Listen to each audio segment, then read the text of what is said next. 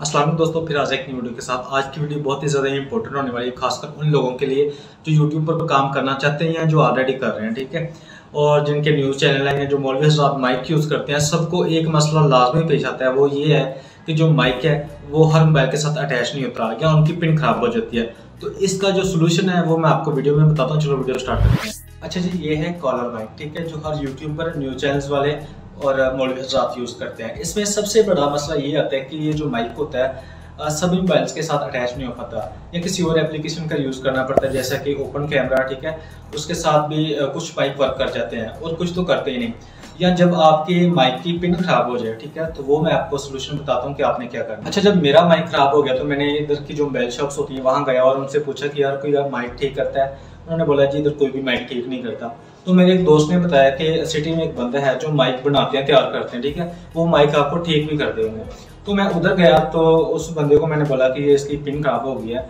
Believe करें उसने इतना सिंपल सा सोल्यूशन बताया, बल्कि उसने मैं आपको वीडियो साथ प्ले करूँगा, वो बना रहा था। जब मैंने देखा कि यार ये हैंड फ्री के साथ में ठीक करा तो मैं कंफ्यूज हो गया, ठीक है? इतना सिंपल सा इसका स्टेप था।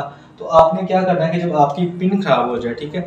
तो ये मैं उनके लिए बता रहा हूँ, जिनकी पिन खराब हो जाए या जिनकी वायर खराब हो जाए, ठीक है? नहीं तो आपका जो फ़र्स्ट स्टेप है वो ये है कि जिनसे आप माइक खरीदते हैं, उनसे आप रबता करें कि हमारा जो माइक है ठीक से वर्क नहीं कर रहा। वो आपको ओपन कैमरा एप्लीकेशन के बारे में बताएँगे, आपने वो डाउनलोड कर लेनी है इंस्टॉल कर लेनी है और उसकी कुछ सेटिंग्स होती हैं, वो कर लेनी है। तो अगर फिर भी आपका माइक ना वर्क करे तो ये स्टेप आप भी कर सकते हैं। आपने एक अच्छी कंपनी की हैंडफिले लेनी है, ठीक है? दो सौ, तीन सौ वाली जो अच्छी तरह से वर्क करे। आपने उसका जो होता है ना, पिन वाला हिस्सा इतना सा आपने काट लेना है और इसके साथ ही अटैच कर देना है। ये देखें इसमें दो वायर्स हैं, एक ब्लैक है, एक रेड है। तो ये साथ साथ मैं वीडियो भी प्ले करता जाऊँगा ताकि आपको पता चले कि ठीक किस किस तरह से करना है। तो वो पिन वाला हिस्सा आपने इसके साथ अटैच कर दें अगर खुद नहीं कर सकते तो आप किसी बैल शॉप पर चले जाएँ वो आपको ये फिक्स कर देंगे ठीक है? मतलब कि 200-300 रुपए में आपका जो माइक है वो ठीक हो जाएगा अगर आपके पास खराब हैंड फ्री पड़ी हुई है लेकिन उसकी जो पिन वाला हिस्सा वो ठीक है। वो हिस्सा वो भी उतार कर आप इसके साथ अटैच कर सकते हैं।